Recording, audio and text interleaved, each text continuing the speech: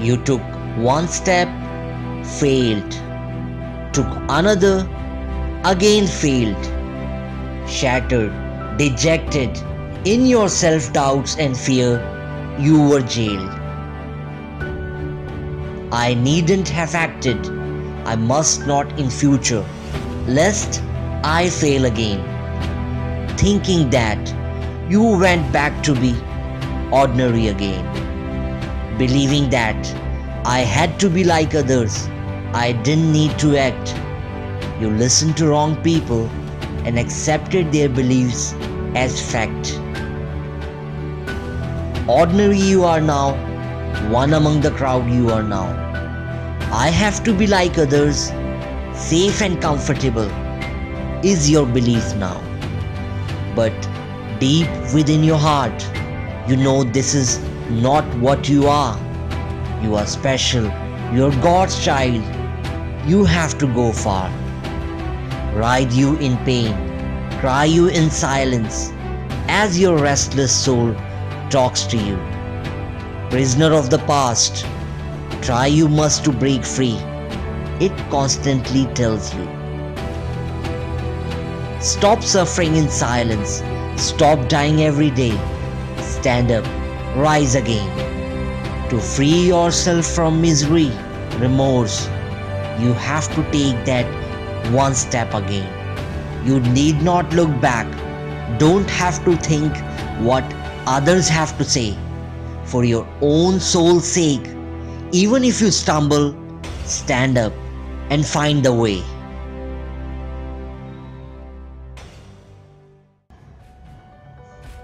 Wasn't it inspiring? We should never shy away from taking actions for our constant growth.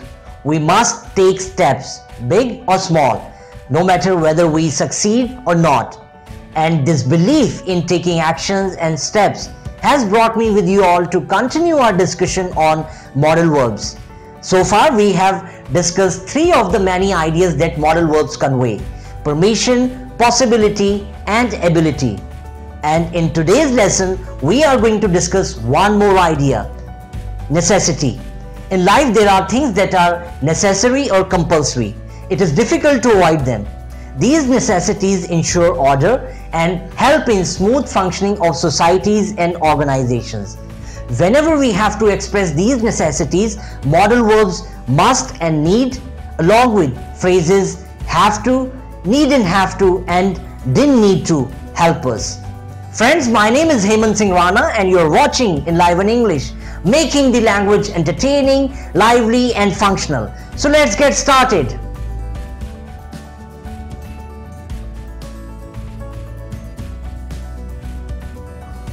Must is the most common modal verb used to express something necessary or compulsory. The need for using must arises from formal rules, regulations and orders. Also, the use of must reflects a speaker's strong opinion or point of view. Let's understand this with some examples. Students must register themselves to appear in the exams. Passengers must buy tickets before boarding the train. We must abide by the rules to avoid disqualification.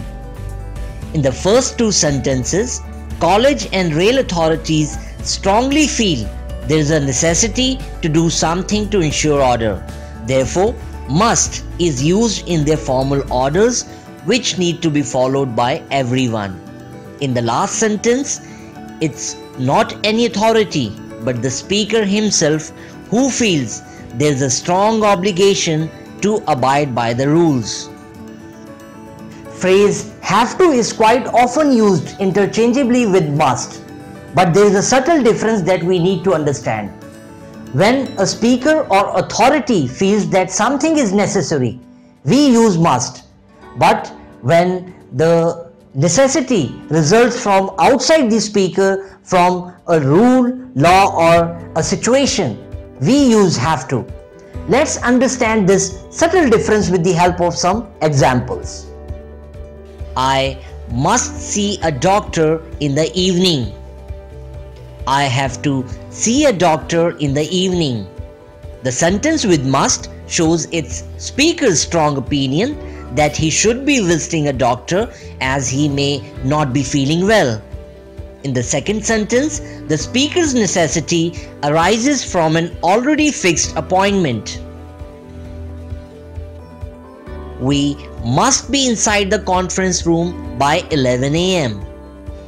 We have to be inside the conference room by 11 am. In the first sentence, it is the speaker who is insisting to be seated in the room. In the second sentence, it is the rule which is making the speaker to say this. Therefore, we can say that in sentences with must, necessity arises from the speaker and in the sentences with phrase have to, necessity comes from outside the speaker, from rules, laws, regulations and situations. While we can use must and have to for present and future necessities to describe past necessities or compulsions, we will use phrase had to. Remember, must does not have a past tense. So in that case, we only have the option of phrase had to. So let's see how we can frame sentences with the help of phrase had to. We had to stay back yesterday to finish the project on time. Players had to clear the fitness test last month for the contest.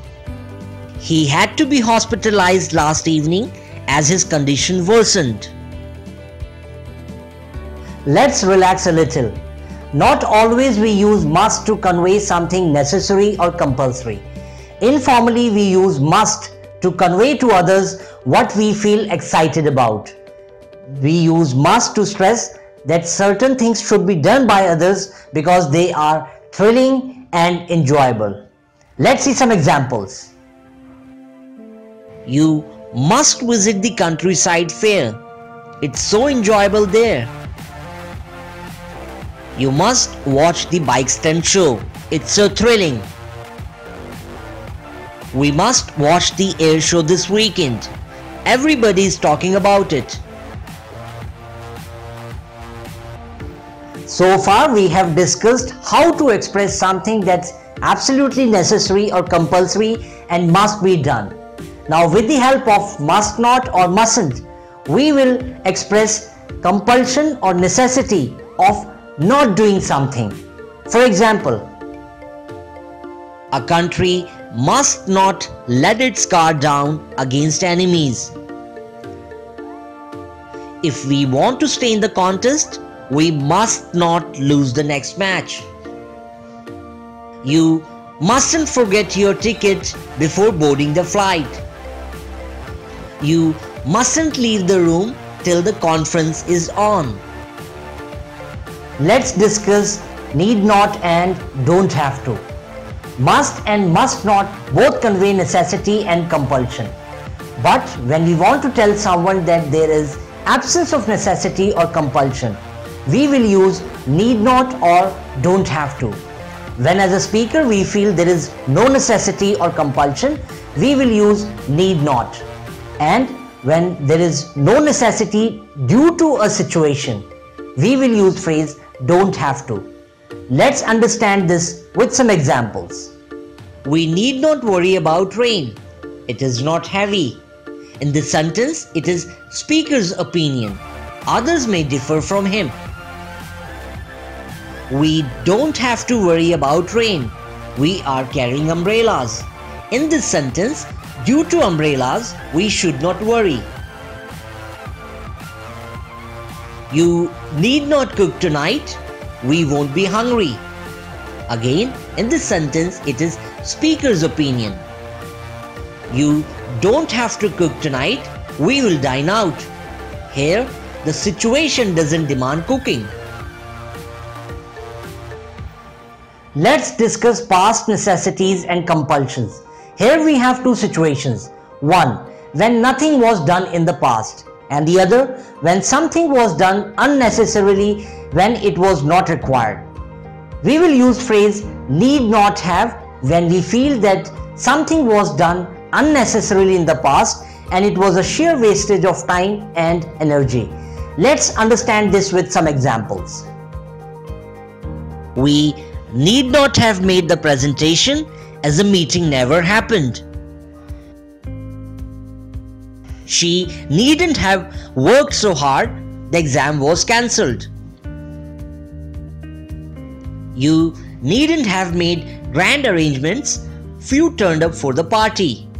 In all these sentences, from the speaker's point of view, the respective actions were unnecessary and waste of time and energy. Last but not the least, we will use phrase didn't need to to express something that was not done in the past as there was no need for it or there was no necessity for it. For example, I didn't need to visit the airport. My friend's flight had got cancelled. It was holiday on Monday, so he didn't need to wake up early. She didn't need to cook food as guests had dined out. So friends, that's it. Wasn't it exciting to learn to express things that are necessary or compulsory? I tried to keep things simple and entertaining to facilitate learning. I'm pretty sure today you became better by learning new things. Every day we must learn new things, take new steps to become better, to become better version of ourselves. And once you have gained some knowledge, be generous enough to go out and share it with others to help them become better. Because the more we share, the better we become. In the next lesson, we'll discuss some more ideas that modal verbs convey. We'll learn to give advice and suggestions and express duties and obligations. I'll be back with you soon. Till then, keep learning and keep improving. Goodbye.